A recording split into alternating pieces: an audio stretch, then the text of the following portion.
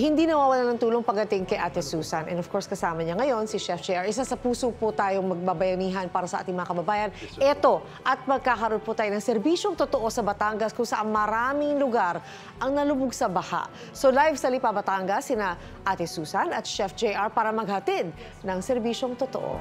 Ate Su, Chef, kamusta nalagay dyan ang mga tao? Yes, Lynn. Thank you, Lynn. At nandito po tayo sa TM Calao uh, Elementary School dito po sa Lipa City. At ito po, mga kapuso natin dito na mga nagsilika. Sila po ay galing sa Barangay Balintawak dito sa Lipa City.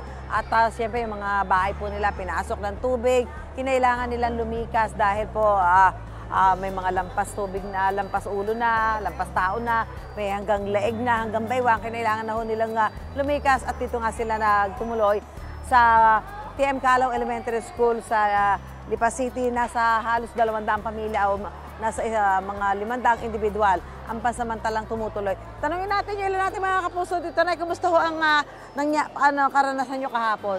Ano nangyari sa bahay nyo? Pinasok po ng baha. Hanggang gaano kalalim po? Ano lang naman ho, kaya lang may mga bata. May mga bata kami kaya nga lumikas lumikas na. Oo. May nailikas kayong gamit? Wala po, kumot lang po. Kumot lang. O, kumusta ang pagtulog nyo kagabi? Hindi Nag-aalala. masyadong... uh, Nag-aalala. Ano po? Tay, ikaw, kumusta po? Ayos naman po. Oo, kumusta Ba- bahay? Ayos naman no, wala manilikas na gamit. Ah. Baha mga garni lang. Ano plano nyo ngayong araw? Babalik na ba kayo ngayon? Medyo gumaganda ang panahon? Conforme po, kung maganda na di, alis na. Oo, oo, oo. Okay. Sige po, maraming po salamat. Oo, salamat. Kumusta? Nakatulog naman kayo? Hindi pa po. Hindi, pa na, masyado. Puyat din. Oy, marami mo pa. Kasi kahit nasa evacuation center sila, siyempre nag-aalala sila sa kanilang mga iniwang mga bahay, yung mga gamit nila. Buti nga kanina, may nakita ko dito, may mga aso na nailikas pa ng mga kabahay natin din nila iniwan.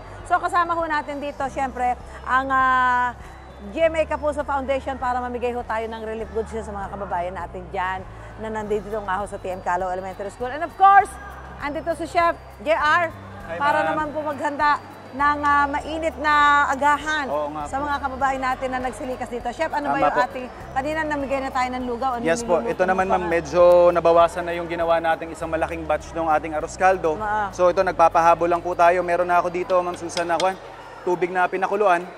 Ah. Pag ganito po kasing malakihan yung luto, mas maganda na kumukulo na yung tubig para hindi masunog po yung ilalim. Mm. So maglalagay lang din ako ng ating bawang at saka yung ating luya. Saka ako na po ilalagay yung ating nahugasan ng bigas. Mm-hmm. So normally po mga kapuso, tip ko lang din, um, the ratio na ginagamit ko pagdating sa arroz caldo is 1 is to 12. Yan. Lalong-lalo na kapag malagkit po yung gamit ninyong bigas, yun yung ating ratio na sa tingin ko saktong-sakto. And then we're also gonna add in lang yung ating chicken. Yes po. So tama-tama yan, Chef. Naku, ah, alam mo, malam- malamig kagabi. Yes. Basta yung marami nating kababayan. Totoo At po. ah, ngayon maiinita yung kanilang mga sikmura, Tama, ba? ma'am. Ayan. So, sinison ko lang po ng salt and pepper. Then, pakukuluan lang natin. Constantly lang po hahaluin yung ilalim mga kapuso para hindi lang po masunog or magtutong doon sa pinakailalim. So, ito na po, Ma'am Susan, yung ating first batch kanina. Yeah. On, ubos So, na. ito po, isang ganito kalaking pot, eh, mga 4 kilos po ang nagagawa. Mm-hmm. So, tuloy-tuloy lang po maghahabol tayo para hindi mabitin yung ating mga kasama dito Oo, sa Lipa, oo, Batangas. Chef. Ang hahaluin ko ng konti ito. Opo. At habang niluluto uli ni Chef yung second batch ng ating lugaw, mamimigay ulit tayo. Ang ating GMA Kapuso Foundation, mamimigay na ho ng relief goods dito sa ating mga kababayan. Opo. Ah, okay, ito muna. Oh, an, an, ah. Ayan. Ito, ito, ito, ito, ito. Dito, Ining, doon na Ito, muna tayo. ito. Ay, iba yun. Ayan, meron. oo. Dalaman Okay. namin dyan. Saktong-sakto din, ma'am, yung ating pandesal na partner. Kuha kayo ng pandesal po. Ayan. Kuha kayo ng pandesal. Ayan, oo. Kuha kayo ng pandesal para may laman ng sip. Dali na ng lugaw. Kumuha na kayo, oo. Ayan, oo. Okay. So tuloy-tuloy lang. Ito, may mga iba't ibang klase ng ng demographics ang meron tayo dito. Ayan. Ayan, si Ma'am Susan namimigay din. So kailangan nating bilisan Kasi lalamig yung ating yan. eh. habol ng ating arroz caldo. Kayo tinapay. Ining, kuha kayo ng pandesal. Let's go kayo ng pandesal. Yeah, ito pa, oh. Mm. Tapos yung iba dun, sa kabila, ha? Ayan na. Ito pa, oh. Yan, doon sa kabila. Pandesal pa. Okay. Ayan, so ito, nakatutuloy-tuloy tayo sa ating servisyo totoo dito sa ah, TM ah, Calaw Elementary School dito po sa Lipa City. Siyempre tuloy ang ating pamimigay ng relief goods ah, mula sa ah, GMA Kapuso Foundation at ang ating breakfast, mainit na breakfast para ho sa ating mga kapuso. Tutok lang ho kayo sa ating patuloy na servisyo totoo. Back to studio po tayo, Chef. Yes, ma'am. Tuloy-tuloy pa rin po ang serbisyong totoo natin sa mga taga Lipa, Batangas. Umabot po ng lampas tao kasi yung baha dyan. Sa barangay Balintawak kaya nasa evacuation center ang mga residente. Balikan po natin sina Susan at si Chef JR. Ate Sue, kamusta na? Yes, Lynn, thank you so much. At ah, ngayon dito sa Lipa City, ay ah, dito sa, well, particular sa kinalalagyan ko sa TM Calaw Elementary School, medyo maaliwalas na ang kalangitan, medyo may, mag- may bahagyang bughaw na ako nakikita. Pero syempre, nananatili pa rin dito yung mga evacuee na nagsilikas dahil nga sa naranasan nila na pagtaas ng tubig sa kani-kanila mga bahay. Syempre, bawat mga nagsilikas may kanya-kanyang kwento, gaya ng kwento nito si Lolo Jose. Si Lolo Jose ay solo kayo sa bahay. Oo, Wala kayong kasama. wala po. Pa- Paano kayo lumikas? Ay, kinuha po ako ni Camarlon Gonza. Tinulungan ho kayo. Oo. At kung hindi, mahihirapan na kayo kung kailangan lilikas. Ay, at makunuhan pa ako, mahirap lumakad. Mm.